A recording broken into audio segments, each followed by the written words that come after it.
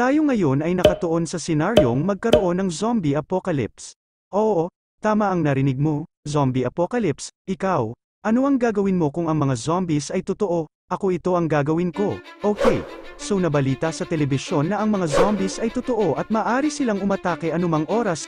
Hindi ka naman siguro maihigalang at hihilata, let's be real, oras na para maghanda at maghanda para sa aksyon. First things first, I'd gather my crew, friends, family, lahat ng mga mahal ko sa buhay, mas malakas kung mas marami hindi ba, we'd need a safe place to regroup and strategize, siguro sa mga secret underground na lugar o a fortified building sa lungsod, basta prioridad ang kaligtasan. Sunod kailangan namin ng survival essentials, canned food, water, medical supplies, weapons, and tools, siguro crowded na sa supermarkets, pharmacy at iba pang establishment sa mga oras na ito. Hindi tayo basta-basta lang natatakbo, kailangan natin ng plano, maghuhukay ba tayo para sa depensa, o magpapatuloy ba tayo para labanan ang mga zombies?